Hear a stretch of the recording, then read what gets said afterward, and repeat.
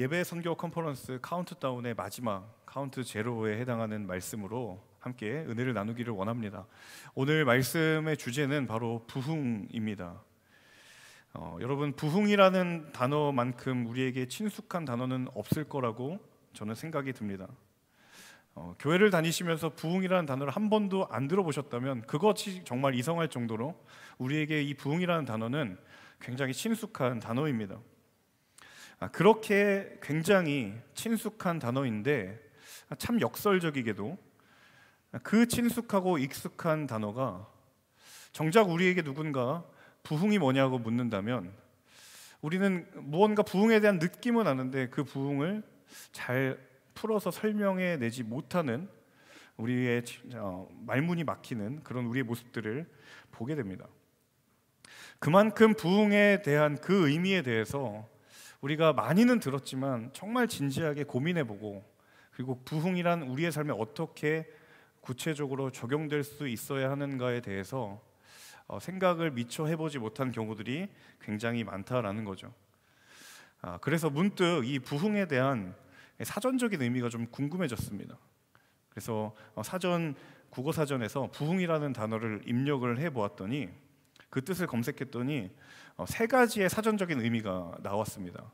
어떤 사전적인 의미였냐면 첫 번째는 어떤 쇠퇴하였던 것이 다시 일어나거나 또는 그렇게 되는 것 이게 첫 번째 부흥의 의미였고 두 번째는 어, 사물의 규모나 세력 따위가 점점 커지는 현상을 가리켜서 사전적 의미로 또한 부흥이라고 하더라고요.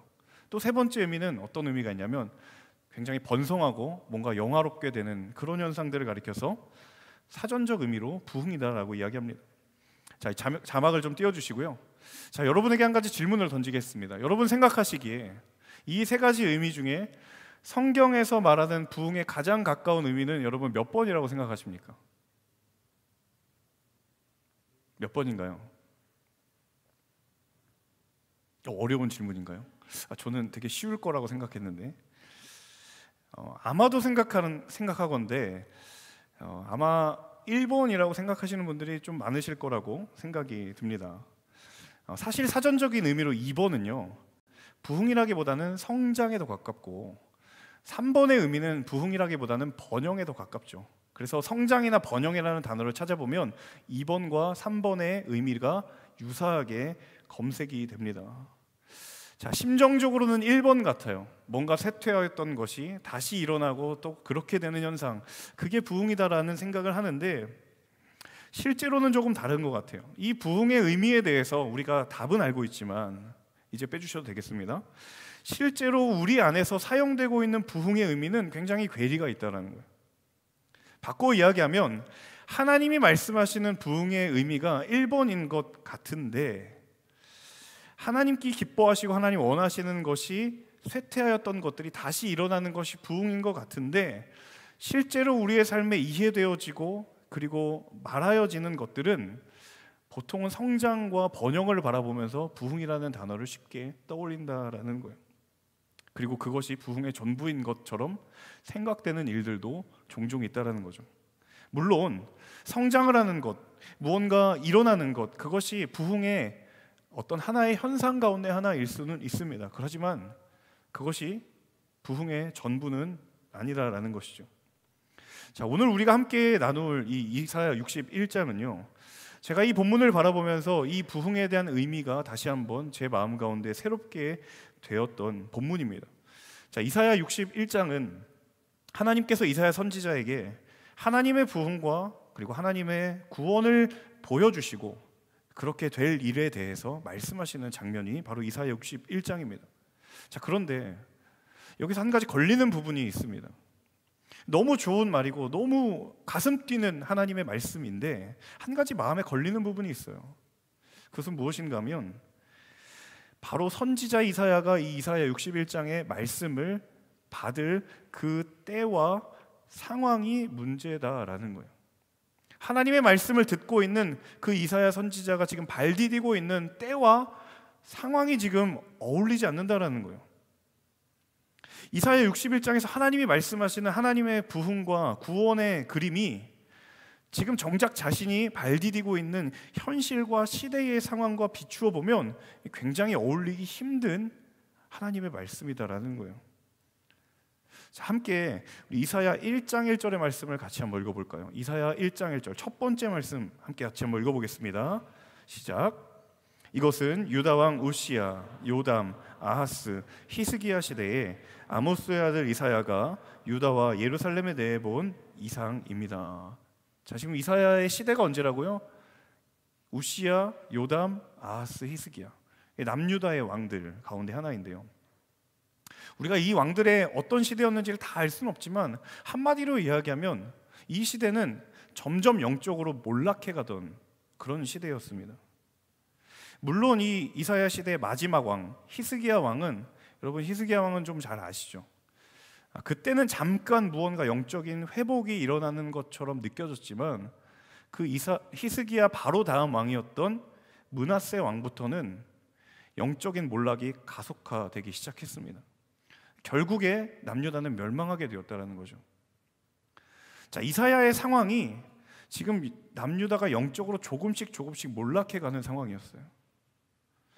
하나님께서 이사야 선지자에게 말씀으로 하나님의 구원의 계획을 말씀하셨고 하나님께서 행하실 부흥의 계획들을 알려주셨지만 너무도 대조적이고 너무도 극명하게도 그가 처해 있던 시대는 도저히 부흥을 꿈꿀 수 없고 하나님의 꿈을 꾼다는 것 자체가 불가능해 보이는 그런 시대였다라는 거예요. 이것이 무슨 의미일까? 여러분 하나님의 부흥이라는 건 상황에 근거하는 것이 아니라 말씀에 근거하는 것이다라는 겁니다. 우리가 부흥을 이야기할 때 굉장히 중요한 한 가지 사실은 그 하나님의 부흥은 상황에 근거치 않은 것이고 말씀에 근거한 것이다라는 거예요. 이사야를 통해서 하나님이 말씀하십니다. 하나님의 구원과 하나님의 부흥과 또 하나님의 회복 그 모든 하나님의 계획에 철저한 근거가 어디에 있는가 하면 하나님의 말씀에 있는 거예요. 영적으로 암울한 시대와 그 상황을 바라보고 있으면 아, 과연 이 시대에 하나님의 부흥과 회복이 일어날 수 있을까? 이사야 시대가 그랬다라는 거예요. 하나님이 말씀하시긴 하셨지만 그 말씀을 시대를 바라보며 그 말씀을 듣는다면 과연 그 일이 일어날 수 있을까? 라고 생각하지만 그가 하나님의 말씀에 근거한다면 그 하나님의 바로 부흥에 대한 말씀은 시대를 변화시키는 하나님의 계획이구나 라고 다시 받아들여질 수 있다라는 사실입니다. 더 나아가 하나님의 말씀에 근거하면 부흥의 의미가 새롭게 정의된다라는 사실이에요. 여러분 이스라엘 백성들의 심각같이 영적인 착각이 어디에 있었냐면 바로 여기에 있었습니다. 그들이 정의하고 있는 부흥의 의미와 하나님이 말씀을 통해서 하고자 하시는 부흥의 의미가 전혀 달랐다라는 거예요. 여러분 이스라엘 왕 가운데 가장 악한 왕 중에 하나였던 아합 왕 잘 아시죠? 북이스라엘과 남유다 역사를 통틀어서 아합이라고 하면 정말 악한 왕이다라고 성경이 평가를 하고 있습니다. 그런데 사실 고대 근동 역사에서 이 아합 왕은요 굉장히 훌륭한 왕입니다. 성경에서는 그 왕을 악한 왕이라고 평가하고 있는데 사람들의 역사의 테두리 안에서는 아합 왕은 굉장히 훌륭한 왕입니다. 당시에 북이스라엘이 굉장히 반역도 많았고 반란도 많았어요. 나라가 굉장히 불안정했습니다. 그런데 아하방 때 어떻게 되었냐면 그 모든 분란과 내란이 잠잠해졌어요. 그만큼 막강한 권력을 가지고 있었고 왕의 권한과 영향력이 어마어마했다라는 시대의 기록이 있다라는 거죠. 안으로는 그랬고 바깥으로는 외교적으로나 경제적으로나 아합의 시대는 굉장히 흥왕하던 시대였고 속된 말로 잘 되는 그런 시대였습니다. 그래서 당시에 많은 사람들이 그 시대를 바라보면서 그 시대는 소위 말하는 부흥하던 시대였어요. 그런 시대였습니다. 나라가 흥황하고 이전에 없었던 국가적인 발전을 경험했던 시대였습니다. 그런데 성경은 그 시대를 가리켜서 단 한 번도 잘 되던 시대였다라고 말하지 않는다라는 겁니다. 그 시대는 온전히 오로지 폐역한 시대였어요. 그 시대는 영적인 암흑기였고 하나님 앞에 폐역한 시대였습니다. 왜 그런가? 부흥의 기준이 상황에 근거한 것이 아니라 말씀에 근거한 것이기 때문에 하나님의 부흥이라는 건 잘 되고 있는 상황과 국가가 흥황하고 있는 상황에 따라서 부흥을 논하는 것이 아니라 하나님의 말씀에 비추어 그 길이 옳은 길인가 아니면 그른 길인가를 판단하는 유일한 기준이기 때문에 아무리 그 나라가 잘 되고 아무리 그 나라가 안정되어 있어도 그 시대는 그저 패역한 시대일 뿐이라는 거예요. 성경은 그것을 두고 단 한 번도 부흥이라고 이야기하지 않았다는 사실입니다. 사랑하는 여러분, 저와 여러분의 부흥의 기준은 어디에 근거를 두고 있습니까? 여러분의 삶 가운데 하나님의 부흥을 이야기할 때 여러분, 여러분은 과연 어디에 근거하여 그것을 판단하고 계십니까? 여러분은 무엇에 근거하여 부흥을 기대하십니까? 여러분, 하나님의 부흥은 절대로 상황에 종속되지 않는 줄로 믿습니다. 하나님께서 이루시는 부흥은 그 모든 상황을 변화시키기 위해 그 모든 상황을 지배하시기 때문에 그렇기 때문에 하나님의 부흥인 줄로 믿습니다. 그래서 시대가 악하여도 우리는 하나님의 부흥을 꿈꿀 수 있고 시대가 아무리 잘 되고 있어도 깨어 이 시대가 악한 세대인지를 분별할 수 있는 힘이 바로 여기에서 나오는 줄로 믿습니다. 여러분 이 믿음에 눈이 뜨여지는 은혜가 있기를 주님의 이름으로 축복합니다.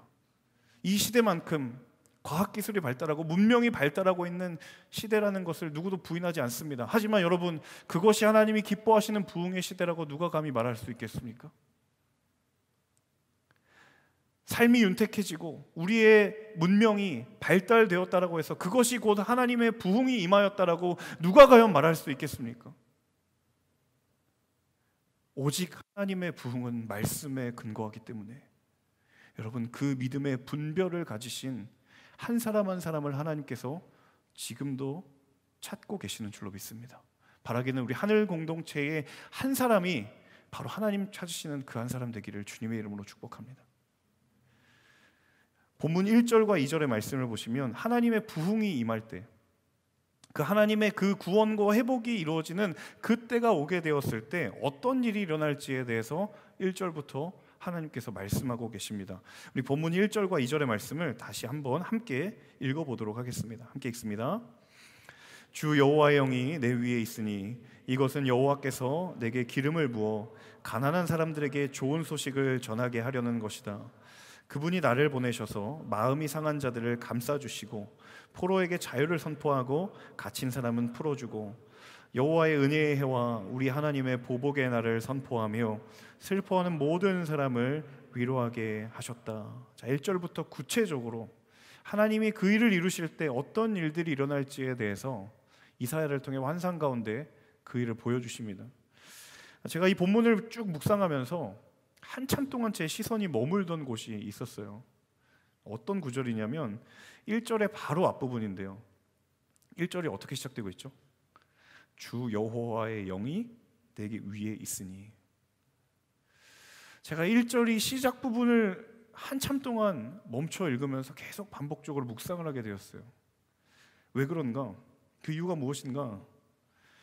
자, 61장 전체에서 이사야에게 주신 하나님의 꿈과 비전과 계획과 부흥이 이루어지려면 조건이 하나 있습니다. 그 조건, 그 전제가 바로 제가 방금 말씀드린 주 여호와의 영이 임하셨으니 굉장히 중요한 전제를 가지고 이 61장에 이야기되고 있다는 거예요. 다르게 말하면 선지자 이사야가 환상 가운데 하나님의 구원을 보게 되고 그리고 하나님의 계획이 실현되고 이것이 이루어질 수 있는 비결은 무엇이냐면 주 여호와의 영이 내게 있으니 주의 성령이 이마, 이사야에게 임하였기 때문에 그 일이 시작되었다는 거예요. 우리는 1절과 11절 사이에 있는 수많은 그 하나님의 계획들을 보면서 꿈을 꾸는데 자칫 이 1절의 시작 주의 영이 내 위에 임하였으니라는 그 사실을 놓치게 되는 순간 부흥의 주도권을 다른 곳에 둔다라는 거예요. 달리 이야기하면 여러분 하나님의 은혜가 부흥의 마중물이다라는 거예요. 이 사실 꼭 기억하시면 좋을 것 같아요. 하나님의 영이 임했다는 거. 다시 표현하면 하나님의 은혜가 임했다라는 거거든요. 하나님의 구원과 회복의 역사가 실현되기 위한 가장 유일하고도 중요한 조건이 무엇이냐면 하나님의 은혜가 임하는 거예요. 하나님의 영이 임하는 거예요. 사랑하는 여러분, 저는 저와 여러분에게 오늘 이 말씀 가지고 도전합니다. 진정으로 저와 여러분의 삶 가운데 하나님의 부흥을 꿈꾸고 그것을 기대하시고 소망하신다면 가장 먼저 우리가 구해야 될 것은 하나님 내 삶 가운데 주의 영을 부어 주옵소서. 하나님의 은혜를 주옵소서. 주 여호와의 영이 내게 임하셨으니 이는 포로된 자에게 자유를 선포하는 것입니다. 포로된 자에게 자유를 선포했기 때문에 주의 영이 임한 것이 아니라 주의 영이 임하셨기 때문에 그 일들이 시작되는 거예요. 여러분 이것을 놓치시면 안 돼요. 어떠한 사명의 자리도요. 하나님의 은혜보다 앞서는 자리는 없습니다. 우리의 삶의 어떠한 부르심의 자리도 성령의 임재보다 먼저 이루어지는 것은 없습니다. 하나님의 임재를 경험한 사람들, 성경에 하나님의 부르심 앞에 나아간 사람들을 보면 그들의 모든 시작은 하나님이 은혜 주셔서 그 발걸음이 시작됐고 성령의 충만함이 있어서 그 부르심의 자리가 시작되었다라는 거예요. 여러분 은혜의 자리가 흔들리고 있는데 사명이 눈앞에 보이면 여러분 그거 경계하셔야 됩니다. 그것은 사명이 아니라 자기 충만의 자리일 가능성이 높아요. 은혜의 자리가 메말라 버려 있는데 부르심의 자리가 보여진다? 여러분 유혹에 넘어가시면 안 됩니다. 그 자리는 하나님과 무관한 자리일 수 있습니다. 굉장히 무서운 일입니다. 교회 안에서 은혜 없이 섬기는 것, 은혜가 고갈된 채 섬기는 것, 내 시작은 하나님의 은혜 때문에 그 섬김의 자리로 나아갔는데 어느덧 뒤를 돌아보니 은혜의 자리는 없고 사명의 자리만 남아 있다면 여러분 그 자리는 다시 처음으로 돌아가 주 여호와의 영이 내게 임하였으니 그 자리로 돌아가야 되는 거예요. 제가 하늘 대학부를 7월부터 섬기게 되면서 하나님께 기도하는 가운데 정말 하나님께서 이 말씀을 통해 이 공동체 가운데 말씀하시는구나라는 것을 확신 가운데 깨달았습니다. 여러분, 하나님께서 이 공동체 가운데 하나님의 부흥을 원하시는 줄로 믿습니다. 여러분도 그 부흥을 기대하십니까? 그렇다라고 한다면 그 부흥의 마중물이 과연 무엇이어야 할까? 우리가 무엇으로부터 그 부흥의 우물을 길러내야 할까? 오늘 성경에서 말씀을 통한 하나님 분명히 이야기하십니다. 주 여호와의 영이 내게 임하였으니 하나님의 은혜가 우리 가운데 부어짐으로 말미암아 비로소 그 자리가 온전해지는 것이고 그 자리가 완전해지는 거예요. 저는 그 자리가 주저하지 않고 이 주일 예배의 자리가 되어야 되는 줄로 믿습니다. 참 안타깝게도 예상치 못한 이 코로나의 상황 가운데 우리는 내일부터 다시 영상으로 여러분을 마주해야 될 것입니다. 제가 이 소식을 듣고 그럼에도 불구하고 감사가 나오더라고요. 어떤 감사가 나왔냐면 아 그래도 한 번 설교하고 사이버 목사가 되는구나. 여러분 저를 보지도 못하고 네 거의 메타버스 안에 들어 있는 목사를 만날 뻔하셨잖아요. 그래도 얼굴 한번 이렇게 봤잖아요. 그것마저도 감사하더라고요. 이 예상치 못한 코로나19의 상황 때문에 우리는 이제 다시 각자의 예배 자리로 돌아가야 되는데 여러분 그때에 지금 하나님께서 말씀하고 계시는 거예요. 주 여호와 영이 내리시 내게 임하셨으니. 여러분 주일 예배에 시간을 사수하십시오. 주일 예배에 자리를 여러분 구별하셔야 됩니다. 하나님의 부흥이 시작되는 곳이 바로 거기입니다.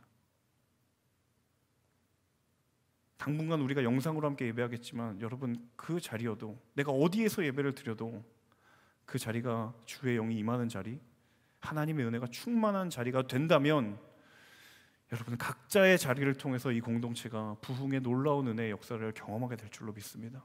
여러분 그것을 꿈꾸고 기대하십시오. 우리가 흩어진다라는 이 사실을 바라보면서 심란해하고 좌절하는 것이 아니라 하나님께서 이 부흥의 기대를 어떻게 실현시키실 것인지 우리의 삶의 각자의 자리를 통해서 어떻게 우리의 은혜를 하나님께서 부흥의 마중물로 사용하실지를 기대하십시오. 소망하십시오. 그리고 다시 우리가 모여서 예배하게 되었을 때 그 일이 어떻게 이루어졌는지를 하나님 분명히 우리로 하여금 보게 하실 줄로 믿습니다. 그 꿈을 꾸는 우리 모든 하늘대학부 예배자들 되시기를 주님의 이름으로 축복합니다. 우리 이어서 8절과 9절의 말씀 같이 함께 읽겠습니다. 함께 읽습니다. 나 여호와는 공의를 사랑하고 강도질과 약탈을 미워하기 때문에 나는 그들이 고생한 대가를 성실히 갚아주고 그들과 영원한 언약을 맺을 것이다. 그들의 자손은 여러 나라에 알려지고 그들의 후손은 여러 민족 가운데 알려질 것이다. 그들을 보는 사람마다 그들이 여호와께서 복을 내리신 자손임을 인정하게 될 것이다. 자, 선지자 이사야가 처음 부르심을 받고 마주했던 어, 안타까운 현실이 바로 이 폐역한 현실. 하나님이 분노할 수밖에 없었던 현실이 바로 하나님의 공의와 정의가 무너져 버린 시대의 상황들을 바라보며 선지자의 탄식이 있었죠. 힘을 가진 사람이 연약한 자를 억압했고 불의한 방법으로 권력을 쥐려 했고 부를 축적했던 일들이 비일비재하게 일어났던 상황들이 있습니다. 자, 그래서 이사야에게 하나님이 말씀하시는 하나님의 부흥이라는 건 바로 이런 시대의 상황과 절대로 분리될 수가 없는 겁니다. 8절에서도 여러분 방금 읽으셨겠지만 하나님 분명히 말씀하시기를 나 여호와는 공의를 사랑하고 강도질과 약탈을 미워한다. 지금 그런 공의가 사라져 버렸다라는 거거든요. 자, 그 남유다의 현실을 바라보면서 하나님께서 하나님의 방법대로 하나님의 공의와 정의가 회복하도록 할 것이다. 그리고 그것이 이스라엘의 부흥이고 이스라엘의 회복이 될 것이다라는 말입니다. 자, 간단하게 표현하자면 이 말을 한마디로 말하면 하나님 하나님 말씀대로 그렇게 할 것이다라는 거예요. 하나님의 공의 하나님이시고 정의 하나님이시다라는 것. 연약한 자들을 외면하지 않으시다라는 건 이미 출애굽기의 율법을 받을 때부터 그 말씀은 있었습니다. 지금 하나님은 이사야에게 내가 말한 대로 내가 지금 할 것이다라고 지금 이야기를 하고 있는 거예요. 내가 너에게 말했던 것 내가 그대로 할 것이다라는 거예요. 그래서요 하나님의 부흥은 바로 행함의 회복이다라는 거예요. 같이 한번 따라해 볼까요? 하나님의 부흥은 행함의 회복이다. 하나님이 그렇게 하실 것처럼 너희도 그렇게 행함의 회복을 통해 하나님의 부흥을 경험하게 될 것이다라는 거예요. 여러분 개혁개정 성경을 기준으로 부흥이라는 단어가 몇 번 나오는지 혹시 아세요? 굉장히 많이 나올 것 같은데요. 어플을 돌려보시면요. 개혁 개정 기준으로 성경 66권에 딱 한 번 나옵니다. 부흥은 딱 한 번 나와요. 어디에 나오냐면 여러분이 몇 주 전에 말씀을 들었던 바로 하박국 3장에 나옵니다. 하박국 3장 2절에 개혁개정 성경에는 여호와여 주는 주의 일을 수년 내에 부흥하게 하옵소서. 바로 그 구절이 유일하게 성경에서 언급된 부흥의 언급입니다. 여기 여기서 이 부흥이 가장 언어에 가까운 의미가 뭔지 아세요? 굉장히 심플한 의미입니다. 하는 겁니다. 하는 것. to do입니다. to do. 그리고 사는 거예요. to live. 하박국이 주 여호와여 주는 이 수년 내 일을 부응하게 없어서라는 말은 무엇이냐면 하나님 하나님 말씀하신 대로 그렇게 해 주세요. 살아 주세요. 라는 겁니다. 하박국이 살았고 이사야가 살았던 시대 영적으로 암울했고 폐역한 시대 가운데 하나님이 찾고 계신 사람은 누구였냐면 하나님의 부흥을 살아가는 사람들 말씀대로 살아가는 사람들 공의와 정의의 삶을 살아가는 사람들. 그들이 바로 하나님의 부흥을 경험한 사람들이라는 거예요. 그리고 하나님은 그들을 통해서 하나님의 부흥을 이루셨다라는 사실입니다. 사랑하는 여러분, 하나님의 부흥은 바로 이 행함의 회복이 본질이라는 사실을 기억하실 수 있기를 축복합니다. 오늘 이 시대에도 그 부흥을 살아가는 사람들을 하나님께서 찾으시는 줄로 믿습니다. 여러분 오늘날 이 시대에 사회 속에서 교회가 왜 영적인 힘을 잃어버렸는가? 여러 이유가 여러 분석이 있겠지만 저는 이 시대를 바라보면서 오직 한 가지라고 생각해요. 바로 우리의 삶이 부재한 언어만이 남아있기 때문에 수없이 많은 공허한 영적인 언어들만이 남았고 그 언어를 증명하고 그 언어를 살아내는 삶의 언어가 사라져 버렸기 때문이 아닐까.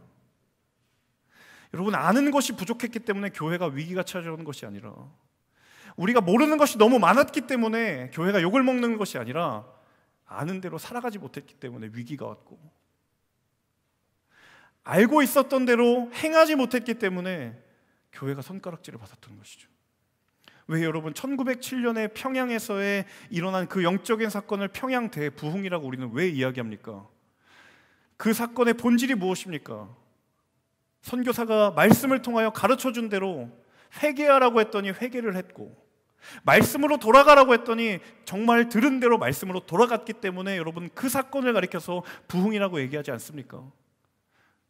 역사는 단 한 번도 그 1907년에 수많은 사람들이 모여들었기 때문에 대부흥이라고 이야기하지 않는다라는 거예요. 설교를 들은 대로 돌아갔기 때문에 말씀을 들은 대로 깨진 마음으로 회복을 했기 때문에 해결을 했기 때문에 그것을 가리켜서 부흥이라고 이야기하지 수없이 많은 사람들이 모여들었기 때문에 성경은 단 한 번도 그것을 부흥이라고 이야기하지 않는다라는 사실입니다. 사랑하는 하늘 공동체 여러분, 저와 여러분이 발 디디고 있는 그 삶의 자리에서 여러분 정말 하나님 앞에서 치열하게 그 삶의 언어를 회복하고 있는 몸부림이 있으십니까? 백마디의 수없이 많은 아름다운 언어보다 여러분 한마디의 삶으로 살아내는 그 언어가 있다면 그 자리가 바로 부흥의 자리인 줄로 믿습니다. 오늘 말씀을 나는 수없이 많은 도전과 결단을 품고 가실 텐데 여러분 그것이 중요한 것이 아니라 그 한마디를 여러분의 삶 가운데서 흔적으로 새기며 살아낼 수만 있다면 그 자리는 하나님의 부흥의 자리인 줄로 믿습니다. 여러분 부흥이라는 단어만큼 우리에게 실체는 사라지고 공허한 단어만 남는 그런 단어도 저는 없다고 생각합니다. 수없이 많은 사람들이 부흥을 외치고 주장하고 수없이 많은 사람들이 하나님의 부흥을 꿈꾸노라고 이야기하지만 부흥이라는 말만 남고 부흥을 살아가는 흔적이 전무해 버린 이 시대 가운데 역설적이기도 우리는 다시 부흥을 이야기합니다. 때로 그런 생각이 듭니다. 하나님은 분명히 하나님의 부흥을 꿈꾸시고 분명히 하나님의 부흥을 말씀하시는데 우리는 전혀 다른 부흥을 생각하고 하나님과 관계없는 부흥을 그냥 우리끼리 너무 기분 좋아서 그것을 꿈꾸고 그것을 바라보고 있는 것은 아닌가? 문득 그런 무서운 마음들도 들 때가 있습니다. 우리는 과연 무슨 부흥을 기대하고 소망하고 있는가? 그 부흥의 그림에 과연 하나님이 있을까? 그 부흥의 자리에 과연 하나님이 계실까? 우리는 전혀 다른 우리만의 부흥을 꿈꾸고 그려왔던 것은 아닐까? 오늘 여러분 이 정말로 익숙하고 정말로 당연해 보였던 이 부흥이라는 단어를 다시 우리 마음 가운데 가져가면서 말씀에 우리 자신을 비추어 정말 하나님 기뻐하시고 정말 성경에 경험했던 그 부흥의 자리가 저와 여러분의 삶의 자리 가운데 펼쳐질 수만 있다면 여러분 그 자리가 하나님의 임재에 충만한 자리가 될 줄로 믿습니다. 여러분 그 부흥을 꿈꾸십시오. 정말 예고되지 않았지만 그 부흥을 이야기하는 자리에 우리는 흩어져야 됩니다. 그 시점에 우리는 지금 흩어져야 됩니다. 저는 하나님께서 가장 알맞은 타이밍에 그 계획을 우리 가운데 펼치시기 위해 우리를 우리의 삶의 자리로 보내시는 것이라고 생각합니다. 각자의 삶의 자리에서 하나님의 부흥을 경험하는 사람들, 우리의 예배의 자리, 우리의 캠퍼스, 직장과 우리의 모든 삶의 자리 가운데 그 부흥을 경험하시도록 하나님 우리를 흩으실 때 하나님 너무 불편합니다. 하나님 다 만나고 싶은 사람 만나지 못해서 너무 답답합니다라는 것이 아니라 하나님 하나님의 부흥을 어떻게 보내주시 보여주시려고 우리를 이렇게 흩으시는지 다시 한번 하나님의 꿈을 제가 꾸겠습니다.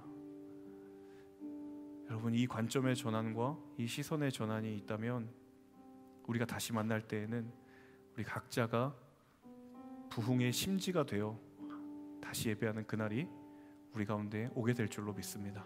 그 믿음의 걸음을 걸어가시는 저 여러분 모두가 되실 수 있기를 주님의 이름으로 축복합니다. 함께 우리 이 찬양 함께 불렀으면 좋겠습니다. 정말 우리의 삶에 보여지는 예배가 아니라 정말 우리의 마음으로 우리의 삶으로 드리는 그런 예배를 하나님 우리가 갈망합니다. 그 예배의 자리에서 하나님의 부흥을 경험하기를 원합니다. 우리 그 고백으로 함께 찬양하고 주신 말씀 붙들며 기도하고 나아가겠습니다.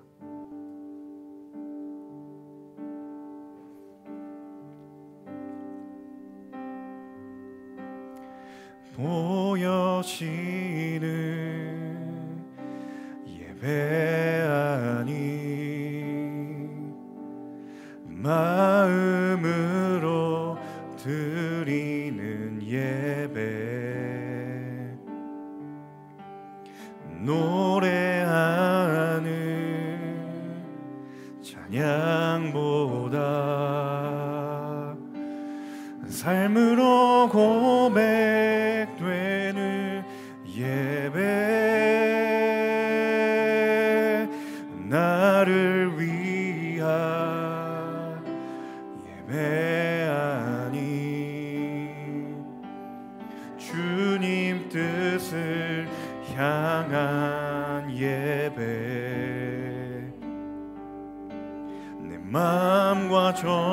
정성 다하여서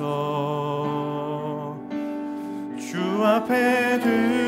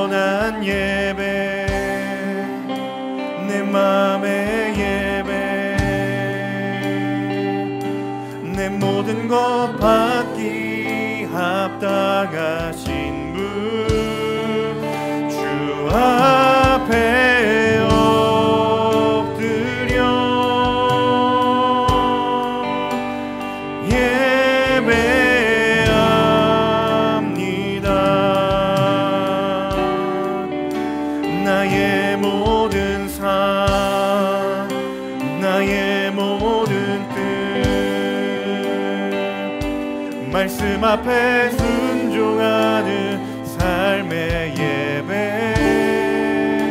드리기 원하네. 이 고백을 가지고 다시 한번 찬양할 때에 우리 자리에 일어서서 함께 찬양하겠습니다. 여시는 예배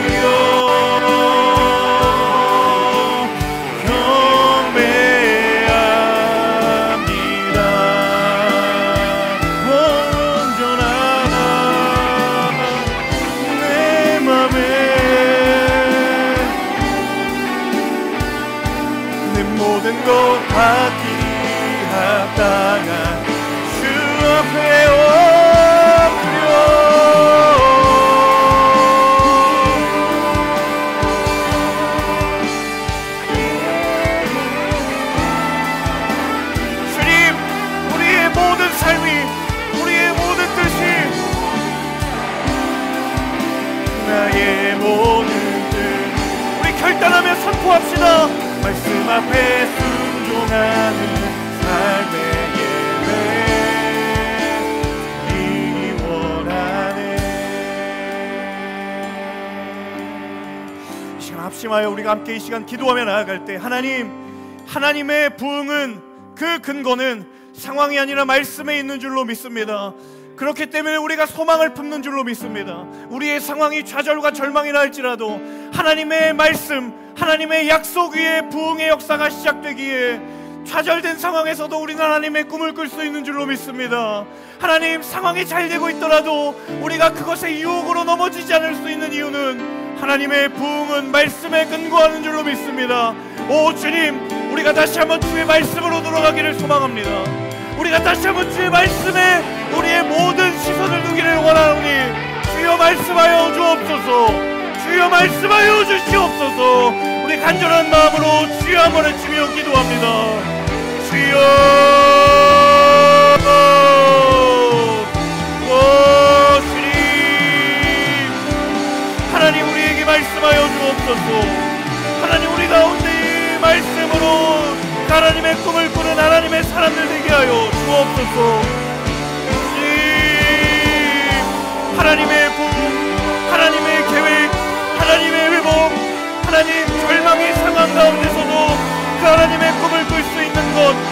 하나님 말씀을 통하여 말씀하셨기 때문인 줄로 믿습니다 오 하나님 우리가 그 말씀에 의지하여 나아갑니다. 오 하나님 우리가 그 말씀만 바라보며 나아갑니다. 하나님 우리의 삶 가운데 말씀하여 주옵소서. 하나님 우리의 삶 가운데 말씀하여 주시옵소서. 말씀이 인생 가운데 임할 때에 하나님의 부흥을 보게 될지어다. 오 하나님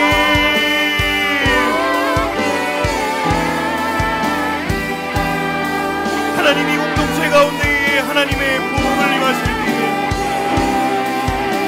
말씀으로 주 앞에 나아가기를 원합니다. 말씀으로 약속한 대로 우리가 나아가기를 원합니다. 하나님 인도하여 주옵소서.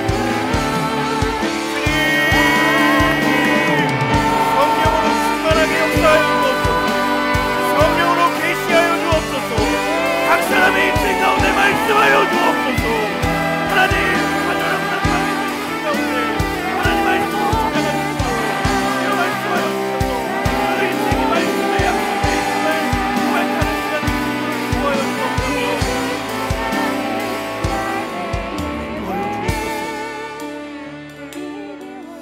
다시 한번 이 시간 간절한 마음으로 기도하며 나아갈 때 하나님 우리에게 주의 영을 부어 주옵소서.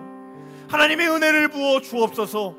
하나님 포로가 자유케 되고 묶인 것이 자유케 되는 것 하나님 그것은 주의 영이 임할 때인 줄로 믿습니다. 은혜 없는 예배 성령의 충만함을 경험하지 않는 부르심의 자리 그것은 어디까지나 나의 노력이며 나의 섬김이며 나의 충만함인 하나님 우리가 다시 한번 우리가 믿음의 마중물의 그 자리로 돌아가 하나님의 은혜를 간구하기를 소망합니다. 주 여호와의 영이 내게 임하였으니 포로된 자가 자유케 된다는 사실을 기억하게 하여 주옵소서. 하나님의 은혜 때문에 우리가 사명의 자리로 나아간 줄로 믿사오니 오 주님 우리의 삶 가운데에 주의 성령을 부어 주옵소서.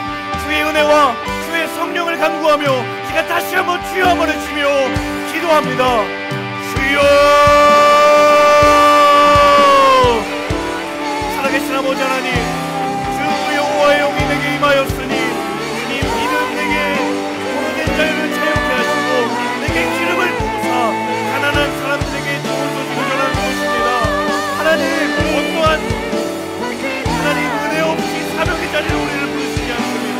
어떠한 부르심의 자리도 성령의 일제보다 먼저 일어나지 않습니다. 하나님 우리가 다시 한번 돌아가기를 원합니다 다시 한번 우리가 돌아가기를 원합니다. 하나님의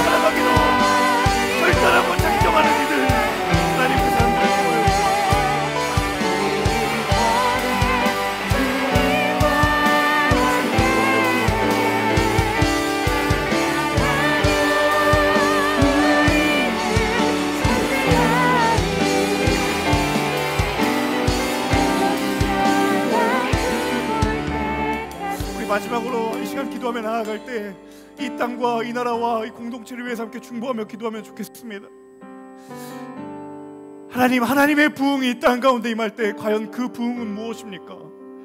우리 하늘 공동체에 하나님의 부흥을 꿈꾼다고 말할 때 과연 그 부흥은 무엇입니까? 하나님, 하나님의 뜻대로 하나님의 말씀대로 살아가는 그 한 사람. 하나님 주의 일을 수년 내에 부응하게 없어서 하나님 그 일을 행하는 한 사람 그렇게 살아가는 한 사람 하나님 이 땅에 그 한 사람을 찾으시는 줄로 믿습니다. 하나님 이제 우리가 다시 한번 흩어져 우리의 삶의 예배의 자리를 회복시키기를 소망합니다. 그리고 그곳에서 하나님의 부흥을 꿈꾸기를 원하는데 하나님 하나님의 부흥을 살아내는 사람 될수 있도록 인도하여 달라고.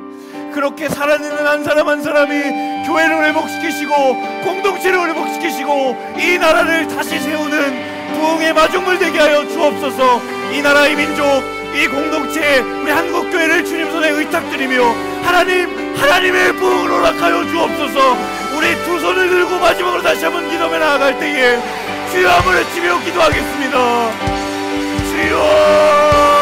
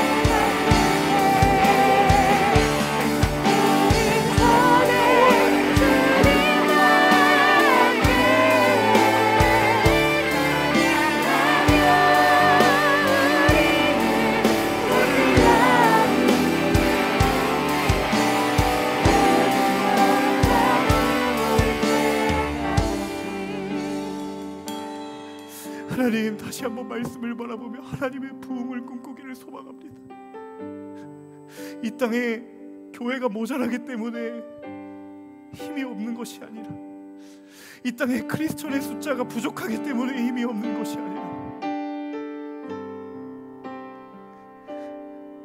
하나님의 말씀대로 세상의 유혹을 뒤로하고 살아가려고 몸부림치는 한 사람 하나님은 아직도 여전히 찾고 계시기 때문에 하나님 다시 한번 우리는 부흥을 이야기합니다.